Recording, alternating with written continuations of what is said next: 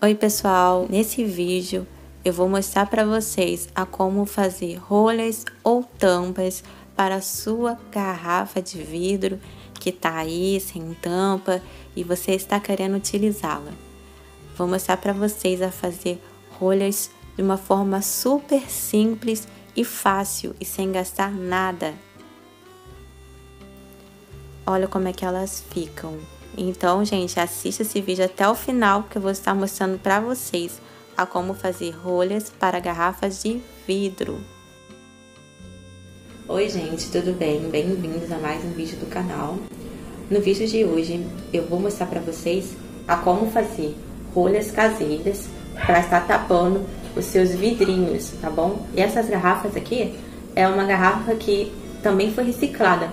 Inclusive, eu vou deixar um vídeo aí no card para você está vendo, que é uma garrafa que ela veio com uma tinta, né? Ela veio com uma tintura que eu tirei, ó, deixei ela limpinha, ó.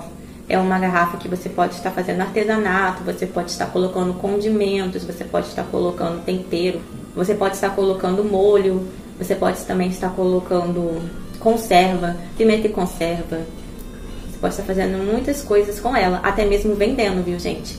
É uma dica muito boa você está tirando a tinta da garrafa e também é uma dica muito boa nesse vídeo que eu vou estar mostrando para vocês como fazer rolha caseira, uma tampa caseira para estar deixando a sua garrafa bonita e mais rústica. Eu vou pedir para vocês, se vocês gostam desse tipo de conteúdo, que ajudem o canal se inscrevendo e também curtindo, comentando, compartilhando para outras pessoas que gostam desse tipo de conteúdo. Não esqueça de ativar o sininho, tá? Para receber as notificações de todos os vídeos que eu postar. O seu feedback ajuda muito o canal a crescer. E eu vou sempre estar trazendo conteúdos novos aqui, tá bom? Esse milho aqui eu vou estar comendo e eu vou estar reutilizando o sabugo dele. Antigamente na roça as pessoas mais antigas, elas utilizavam sabugo de milho para estar tampando garrafas e fazer garrafadas em mel. Então nunca mais desperdice seu sabugo de milho. Vamos fazer tampa ou rolha para garrafa de vidro. Aqui eu já comi o milho e ficou só os sabugos. Eu vou utilizar o sabugo assim não. Depois que você comer o milho e guardar o sabugo, você precisa higienizar eles, porque dá formiga, tá? Não vamos fazer antes de uma boa higienização. Senão vai dar um monte de formiguinha, essas formigas vão acabar comendo o sabugo. Então vamos tirar todos os vestígios do milho daqui desse sabugo. E eu vou mostrar para vocês como eu higienizo. Eu tirei todos os restícios, os restos que sobraram dos pedaços do milho que eu comi e agora eu vou colocar ele dentro da água com uma colher de sopa de cloro e vou deixar aqui por 30 minutos. O que eu fiz? Eu tirei de lá e deixei 24 horas no sol até secar totalmente. Depois de deixar secar totalmente, que pode ser de 24 a 48 horas, vai depender do dia, se tiver sol ou não, eu vou começar o processo de modelagem para estar fazendo a nossa rolha. Você vai precisar de uma lixa de parede, mas vai ser opcional, porque dependendo de como você modelar, nem vai precisar dela.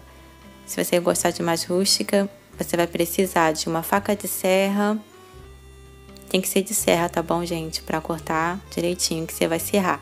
E você vai precisar estar próximo, né, da garrafa de vidro sempre do lado para a gente estar vendo quando ela estiver cabendo direitinho na boca dela. Aqui eu tenho uma rolha maior, tenho uma rolha menor, você pode estar cortando ela com serra para o tamanho que você quiser que fique a sua rolha. E aí eu vou cortando as laterais, quanto mais seca melhor, tá? Se você não deixar secar bem, além de poder mofar, né? tem um caso de ficar mais dura. Então ela bem sequinha, ela fica mais mole. E você vai cortando, modelando até caber no buraco da garrafa. Você vai cortar mais a parte de baixo, tá? Você não vai mexer muito na parte de cima, porque a parte de cima ela pode ficar desse tamanho mesmo.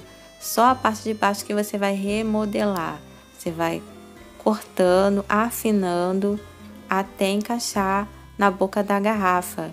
E cuidado para não quebrar, tá? Se tiver muito seco assim, a gente tem que ter cuidado para não quebrar ela e ficar menor do tamanho que a gente não quer.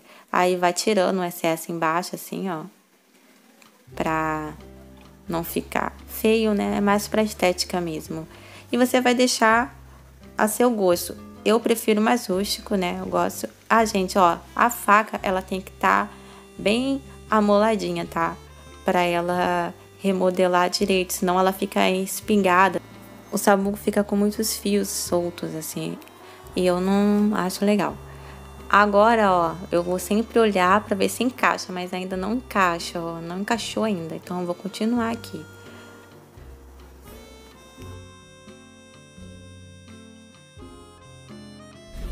Ó, já tá encaixando. Só que agora eu vou modelar ela, tá? Porque tem um lado aqui dela ficou mais grosso que o outro. Vou modelar ela. Você pode modelar ela com a lixa ou com a própria faquinha de serra. Vou dar uma modelagem nela só pra ficar mais bonitinha.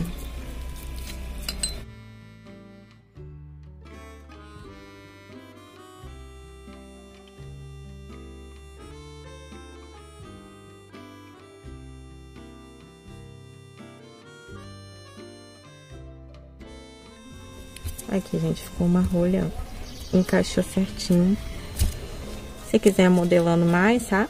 Você pode fazer também. Eu gosto mais dessa tonalidade mais rústica, assim, ó. Eu prefiro assim. E eu vou fazendo outras, tá, gente? Eu vou mostrar pra vocês. Ó, não cai.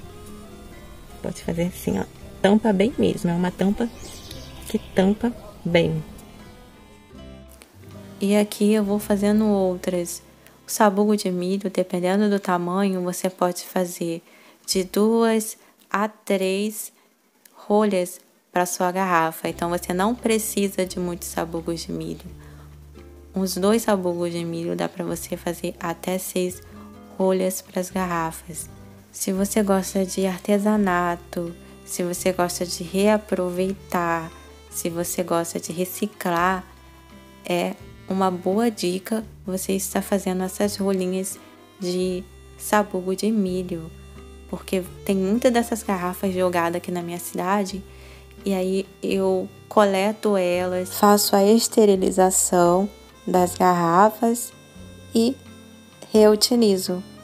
Então você faz muito bem para o meio ambiente e você também pratica a autossustentabilidade, que é faça você mesmo e você reutiliza aquilo que você mesmo faz com as suas próprias mãos.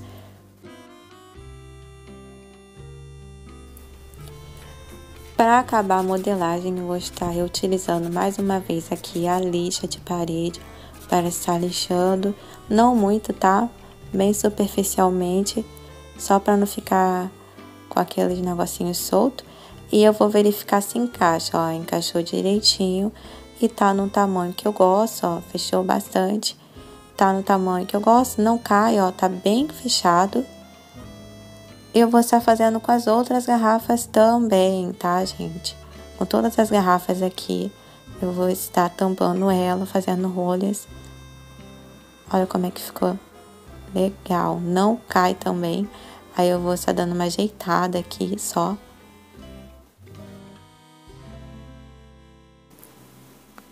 Vou fazer a última aqui.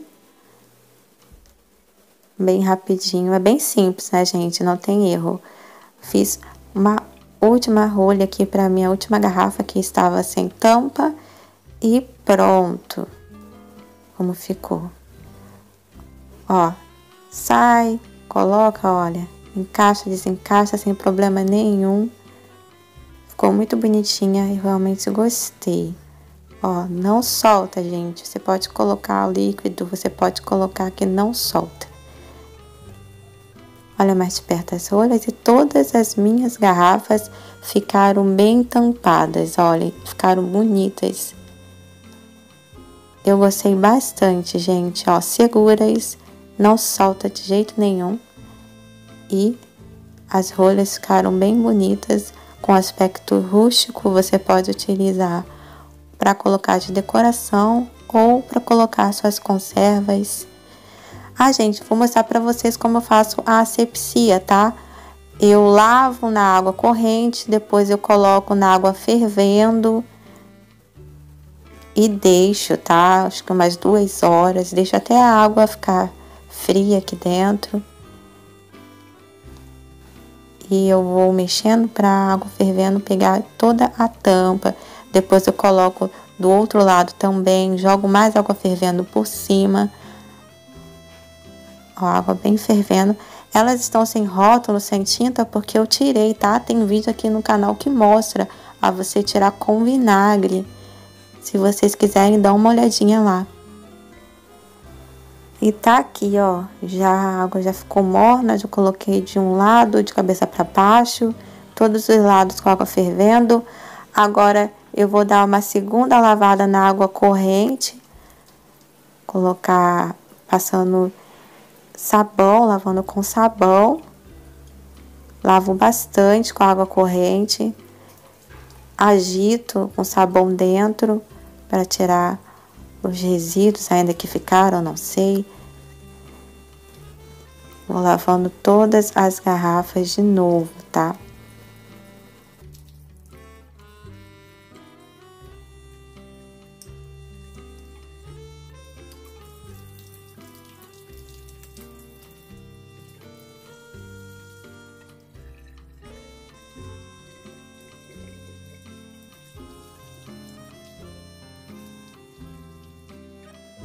Aí eu coloco alvejante dentro. Esse alvejante aqui, ele tá misturado com detergente e cloro, né? Alvejante é cloro. Aí eu coloco um pouquinho de água, balanço e deixo alguns minutinhos dentro das garrafas. Depois enxáguo. E assim ficou as nossas rolhas de sabugo de milho nas garrafas de vidro.